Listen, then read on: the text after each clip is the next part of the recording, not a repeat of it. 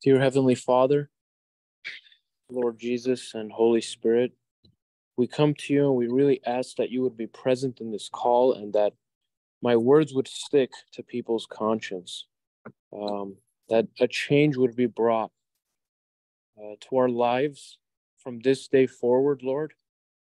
That we would that you would expose areas of our hearts as I will be speaking in this short time period, areas where our heart is discontent.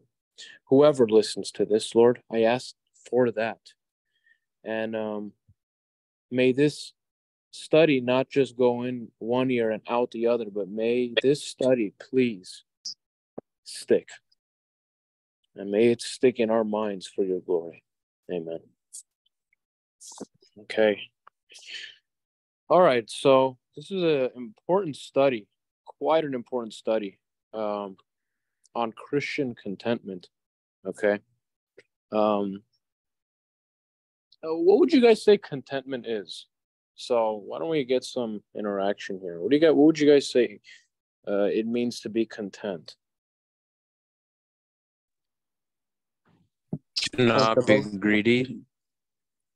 To not be greedy. Okay. Anyone else? And I don't mean like me only. I mean like just not wanting more than God has like given you in life of anything, like circumstances or money or whatever it may be. Yeah. Okay. Anyone else? What would you guys say? Comfortable. Comfortable? Yeah. Okay. I would Like say it- like yeah. happy with what you need, not what you want. All right. Okay. Mm-hmm. I would add like uh, satisfactory, like satisfied. You're Mm. happy and satisfied with what you have, with a grateful heart.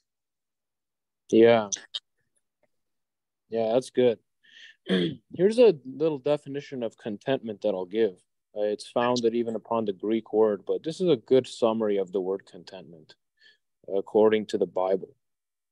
To be free from care or anxiety because of a satisfaction with what is already one's own. The Hebrew means simply to be pleased. Okay, so it's a, as Ani said, a satisfaction, uh, which uh, results in a freedom from care or anxiety because you're already satisfied in your current circumstances. All right, so and the Hebrew word means to be pleased. Okay, so you know, there's many different ways to attain contentment according to the world. And there is a worldly type of contentment, but this is a study on Christian contentment. And it's very important for us for us to understand what is not a biblical way to be content. Here's how the world always thinks, guys, and we need to remember this. Let's say um, something is going on in their life that they would not, ideally, they would not want it to go that way. Uh, they, there's some trouble in their life. There's some inconvenience in their life. There might be much inconvenience in their life. There's stuff they wouldn't prefer in their life. And to them to the worldly person and as well to the immature christian. So we're talking about non-believers false christians and even the immature believer. So there can be an immature believer in this call who thinks this way. They'll think something like this. Oh if only this thing was out of my life then i'll be content.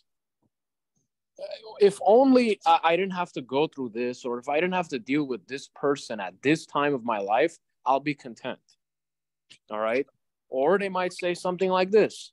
Um, look look lord i'm not asking for much but what i'm asking for is just this one thing you see, Lord, I'm not asking that you take that this this away. I'm not asking that you take that away. If I were to just have this, I'll be content. That's a worldly way of thinking. Okay. It, it's worldly because it stems from a lack of satisfaction from one's current circumstances. And it's saying, I will only be satisfied if this thing is added to my life. If this one thing is added to my life. or if only this one thing was removed from my life.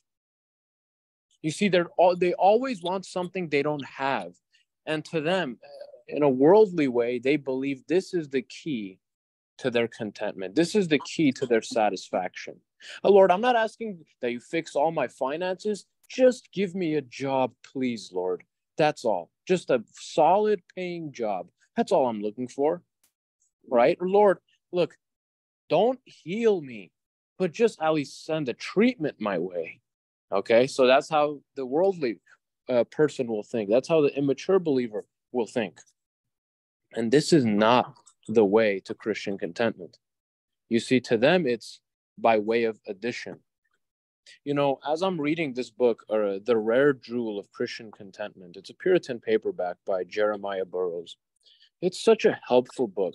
And so um, I'm taking uh, some of this study from the content of this uh, book because uh, there was a great uh, thing that Jeremiah Burroughs mentioned about how the Christian uh, grows to become content. And there's many ways that a Christian grows to be content, but we're going to tackle one today.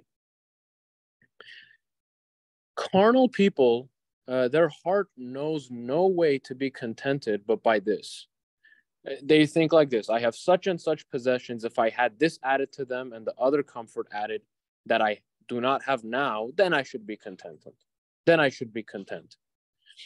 And that's not the way to go, guys whatever it is in your life at the moment, if you were to look at your life, we might think like this. We might think, you know, if only this thing were different, I would be fine. I would be content. But the Christian way of contentment, we attain contentment by subtracting from our desires. That's the key of today's study. That we attain Christian contentment by subtracting from our desires. What do I mean by that? We have to, by God's grace, get our desires down to our circumstances. We have to get our desires down towards our current circumstances. Um, bring down your desires to what you have already attained. Um, the Christian way of contentment is to bring their wants, their desires down to their current possessions. And this is the way they attain contentment. Um, because this is something we have to consider. This is what Jeremiah Burroughs says Some men have a mighty large heart, but they have bad circumstances and they can never have contentment when their hearts are big and their circumstances are little. But though a man cannot bring his circumstances to be as great as his heart, yet if he can bring his heart to be as little as his circumstances, to make them even, this is the way to contentment. The world is infinitely deceived in thinking that contentment lies in having more than what we already have. Here lies the bottom and root of all contentment, where there is an evenness, where there is an evenness and proportion between our hearts and our circumstances. What uh, Jeremiah Burroughs is teaching, and we'll look at scripture teaches this as well, that the one of the ways to Christian contentment is not so much to say, if only I had this in my life, if only I had this removed, but to take pleasure and submit to what God's will is for your life currently. You know, if you want marriage badly, but the Lord has kept you single, don't say, if only I were married, then I would be content. No, that's wrong. Okay, what you're basically saying is, I am not satisfied with what the Lord has given me at the moment in his wise and sovereign plan for my life.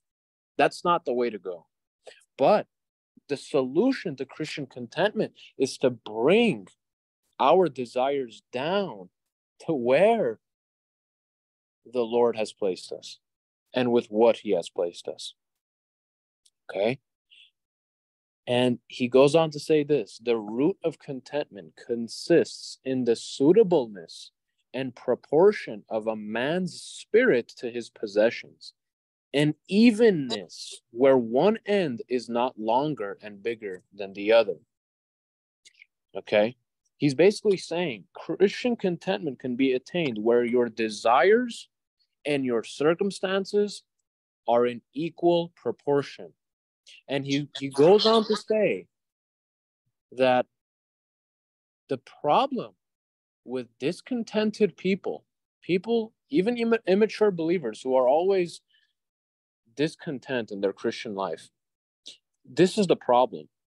Their heart is too loud. Their heart far exceeds their circumstances. Okay, so that that's what we have to understand. Um, that the root of all um, discontentment is someone who has a heart that covets almost strongly desires things that they don't have. Their circumstances are little but their heart is raging within them. Their heart is raging within them and so that contentment is attained where our heart and circumstances are even um, and this has to be our pr- prayer prayer the Lord has been pleased to bring down my circumstances. Now, if you, Lord, bring down my heart and make what and make it equal to my circumstances, then I am well enough. Your life can be very normal, right? You're not like the people in Africa. You have a roof over your head, you have all the technology at your fingertips, and yet you have a nagging heart. Yet your heart is not at peace within you. It's not a matter of your possessions, it's a matter of your heart. That's the problem. And do you know what Paul says, guys? You know what Paul says? If you truly had a contented heart, you can say this. First Timothy chapter 6 verse 8. If we have food and clothes with these we shall be content. He's literally saying that if all I have is food and clothes, with th- this I shall be content. And while we sit here, we have all the technology, we have all the, you know, uh, access to so many activities, social media, friends, church, church events, cars. And yet we're sitting here act with the most discontented heart because our heart far exceeds what we have. And therefore lies the root of all discontentment. That's the root of all discontentment. Any questions so far?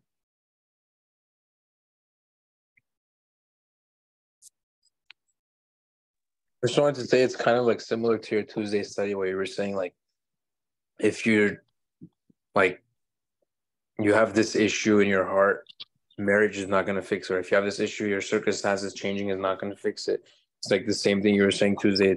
I feel like if we're not content in, you know, the tough times and then we think oh if i only had this even if we get that we're still going to be wanting more and more and more we're, we're never going to be content mm-hmm. because yes, so that, that's a yeah. change yeah yeah um, the heart is loud that's the problem the heart is raging with desires and jeremiah concludes by saying this so this is the art of contentment not to seek to add to our circumstances but to subtract from our desires. Um, let's see what this word content in our New Testament say. So we've been hearing it from um, this Puritan, but why don't we go right down to Scripture itself? Someone read Luke chapter three, uh, verse. Sorry, before we go there, someone read Philippians four eleven. Let's let's all turn there. Go to Philippians four eleven. And once everyone is there, um, I'll read it. Philippians 4:11. This is important that we see this verse. Philippians 4:11. Yeah. And here what Paul says is this. Not that I speak from want, for I learned to be content in whatever circumstances I am. Okay. Not that I speak from want, for I learned to be content in whatever circumstances I am. So this is not just the wise words of a Puritan. Do you see what Paul is saying? Mhm. not that I speak from want, desire.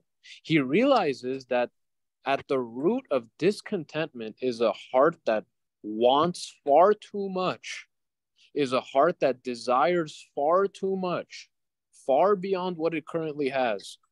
And he says, I learned to be content in whatever circumstances. Paul recognized that discontented, untamed desires are the enemy of true peaceful contentment. Paul recognized that it is his wants that will choke out true contentment. So, believer, you should look at what is what rages within your heart. What rages within your heart? What is it that's not giving you peace? You know, in our in the Western world, we're considered wealthy compared compared to what other people have. And yet we're just nagging, complaining, if only this, if only that. And we need to realize that this is sin. Discontentment is sin. And let's treat it as that and confess it as that. We need to confess the discontentment in our hearts. You know why this is a sin? Go to Luke chapter 3, verse 14. And if someone could read that. Luke chapter 3, verse 14. And in this context, uh, John the Baptist was preaching, and that people were coming to him. And this is a Luke exclusive that we often forget this. Now, as John was preaching the baptism of repentance uh, and proclaiming the good news, people began to say, Well, what should we do?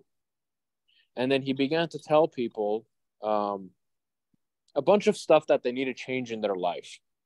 And then uh, soldiers came and asked John the Baptist, What should we also do? And someone read this Luke 3 14. Then some soldiers asked him, "What should what should we do?" He replied, "Don't extort money and don't accuse people falsely. Be content with with your pay." Yeah. So mine says, Do not take money from anyone by force or exhort or extort anyone, and be content with your wages. Okay, Mhm. look what he's look what look what John's solution is to Christian contentment. If we want to understand biblical Christian contentment, do you know how John the Baptist taught it? He says, Soldiers, be content with your current wages, your current circumstances. Don't always have your eye on, well, I need that. I well, if I, you know, I would be at peace if I only got this paycheck, this promotion, this whatever. And John points to your current wages and says you need to embrace this as from the Lord. And you need to be content with what you currently have. Be so satisfied with what you are earning that all covetous cares and anxious wants are gone. If you're content with what you have. And how can we become content with what we have? That's a very important question. Whatever your lot is in life, this is the key to being content in your circumstances. You have to realize that the Lord has placed your circumstances in your life at the very moment. Romans 8:28 applies to your circumstances. God works all things, yes, even your current circumstances, um, all things together for your good to those who love Him. All right. So, at the root of discontentment is a displeasure in God's sovereign will for your life at the moment. In essence, you're basically saying, No, Lord, you don't know how to plan my life. This very thing in my life, no, you're not ordering it well. I, I need to step in and ask you for this so that I can be content. That's the root of discontentment. A heart that does not delight in the Lord's w- current will for your life. You, you don't accept that it's his wisdom that he has placed your circumstances the way he has. You don't realize that. It's an insult to God. It's sin. And that's why John says you need to turn this, you need to stop this. Not only stop extorting, but you need to be content with what the Lord has given you. Take a quarrelsome, materialistic wife, guys. You know, I'm telling you, this is very common, especially amongst the Armenian community, unfortunately. take this materialistic, uh, quarrelsome woman, a wife. She is not content driving or being seen in an old 1992 Honda Civic. She won't have it. She will not have it. She needs AMG. She needs an M Series BMW. She needs luxury. She will not take driving an old, rundown 1992 Honda Civic. Her heart is not at peace within her. There is an inner turmoil. There is an anxiety weighing her down. Why? Because she has no contentment, no satisfaction, no pleasure in what the Lord has given her at the moment. Uh, loud hearts are the last people to enjoy contentment. Um, and um, Paul said this in First Timothy chapter six, verse eight: "If we have food and covering, with these we shall be content." That's very hard because what Paul is saying is, if I had just nothing but food and clothes, I'm content. I'm at peace. I'm at satisfaction. And now I want to talk about some sort of stuff that uh, us discontentment in our life. All right, this is something I want us to talk about. Specific things in our life that we can be discontent at. Uh, things that reveal the discontentment of our hearts. For some people, for some people, you know, Paul was in a place where he says, I'm content with food and clothes. He doesn't say, I'm content with food, clothes, and shelter. Can you believe that? He was completely at peace, completely satisfied without a home as long as you have food and clothing. Do you understand, guys, that some people are so materialistic, so loud with their desires that they are not content living in an apartment? Their heart rages within them, saying, I can't do this. We need to move out and get a house ASAP. You see, they're not content. They're not content with what they have. Their heart rages for more in deep covetousness. How about this? Why don't we go very specific? Let's get into specifics. Are you content driving a Prius and being seen in a Prius? Okay. How about this? Are you content using the bus getting on the beeline and being seen using the bus. Being known for being that one person that one girl who uses the bus to get from a to z. Okay? I'm i'm mentioning stuff to reveal i'm mentioning situations so that it can reveal the discontentment of mm-hmm. our hearts.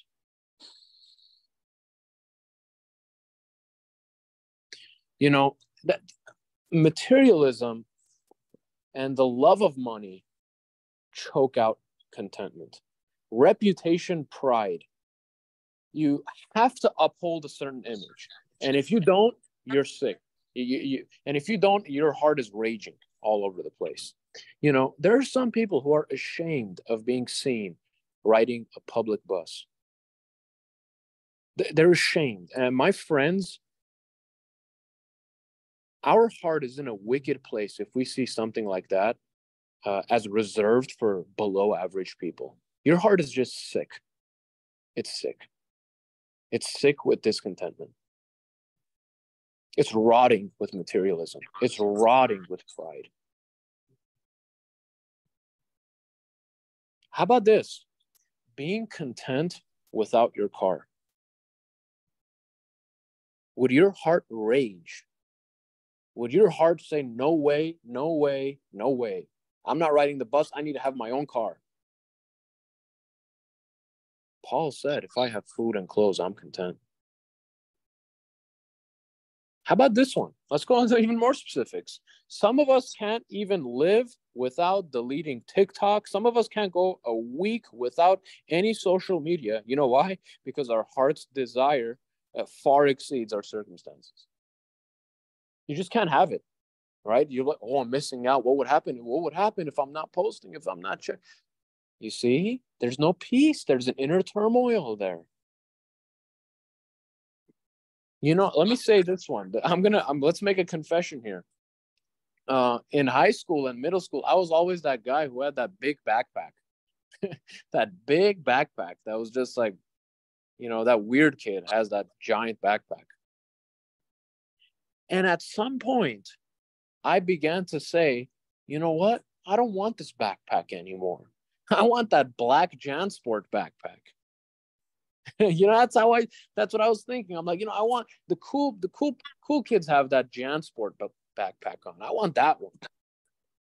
And do you see, even in something like that, it can reveal the discontentment of our hearts because we don't want what we have. We're not okay with that better quality backpack that might be slightly bigger. You see, there's no peace, there's no satisfaction. And so our heart rages and sins against the Lord. How about not having an iPhone? How about that one? I'm telling you, there are people here uh, nowadays who will rot to have a Samsung. I know, especially in our circle, you know, even in, amongst the Armenian community, like, um, and just there's a lot of people who they're like, oh, I, I can't handle sending green text to people. Oh my goodness. Oh my goodness. It's not a minor thing, guys. These external realities reveal the discontentment of our heart. How about not having a phone, period? Not having a phone, period. Yes, would it not be ideal in today's society? No, not really. It's very useful to have a phone, but I'm talking about contentment. I'm talking about satisfaction. Ladies, what if you got a cheap wedding ring? Right? Um, ladies and gentlemen, I don't say this as a joke, but very seriously, guys, listen. Is your heart not content getting your clothes from Goodwill and Walmart? Do you always have to have well known brands? Do you always have to have that higher quality store? My friend, that can reveal such so much about your heart. What else can you guys think of? I want to open the floor. What else what else can you guys think of? I want to hear from you guys. What are some things that uh, our hearts can really be uh, discontent about? What would you guys say? Anything that comes to your guys' mind? I think a big one is for Christians is, I mean, yeah, like the practical things too of like wanting a car and and those things that like we most likely wouldn't be okay with losing an iPhone or a car. Um, but also like a big common everyday one is I think like certain trials or like seasons of difficulty or seasons of why am I still in this place that I thought I'd be in a better place or why am I going through this or finance as you said like earlier financial struggles or um you know singleness or wanting to get married and you know that's it's it's the same heart that wouldn't be okay with driving that car. Or it's the same heart that wouldn't be okay with um shopping at goodwill. It's like we're not okay with as you said what god has sovereignly placed in our life. Like no this isn't where i'm supposed to be at. God you should do this this that because that's where i'm supposed to be. And it's like very discontent you know you're telling god how he should run your life yeah yeah anyone else any anything else any examples I feel like a specific one for especially right now, like in the summer, is like seeing everyone go on like different vacations. Okay. And yeah. you're not content with just going to like a pool. You want to go to Europe, you know? Yes. Yeah. Yeah. Oh, I think a big one is I mean, it might sound silly, but maybe more for guys or I don't know, but like food, like eating, like oh I'm not down for that or oh I'm eating this again or oh, I was craving that. Like I don't know, maybe like I'm more into food, but sometimes I'll see that I'm like, oh, I want to eat. Like I'd rather have that. Or be, I guess not being content with the food that we have or the food that everyone decides on or what you have at home or and I don't know, eating something simple as that. Yeah. You know what? One big one that came to my mind right now that it rots in people. Are you content and at peace working at a low status job? Low status in, unfortunately, our society, because now this, this status thing corrupts everything. Where they have status to jobs. Oh, this is a high status job and this is a low status job. And uh, if we're using just worldly language for a second, is your heart content with working at a low class job, being seen at a low class job, men and women, at a Goodwill, at a Domino's, at a you, you name it. Our hearts might be like, no, no, no, no, no, no, no, no, no, no, no way. It has to be a doctor's office. Has to be something medical. Has to be something of prestige. All the while, it's revealing what our heart truly is like on the inside. What filth we have in our hearts. How sick we really are. Okay? There's a sickness to our hearts. Pride sickens the heart. But if we only brought down our desires to our circumstances, we would be at ease. We would be at peace. To be content does not mean that you are void of desires. Listen to that. It doesn't mean that you're void of desires. It means that you take pleasure and are submissive to God in the lot that He has placed you in at the very moment. Christian contentment entails a delight in God's wise, sovereign will over your life. Christian contentment delights, yes, delights, takes pleasure in, and submits to the will of God.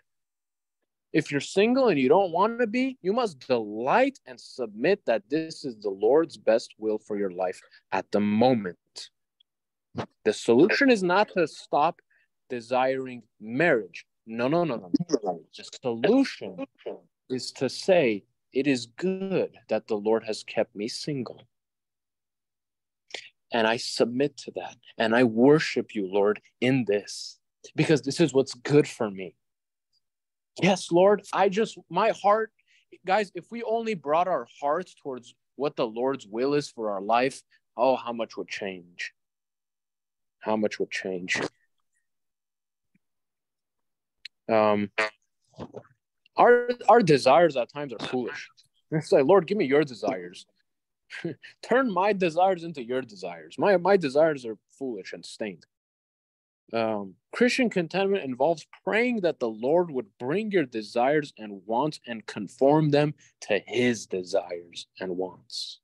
If he wants you single at the moment, say, Lord, there's nothing wrong with me desiring marriage, but please conform my desire to your desire for my life right now. You must be genuinely satisfied submit and take pleasure in the place the Lord has you in at the moment. Why? Because He's working all things together for your good. Yes, even this trial, even this sore circumstance you're in.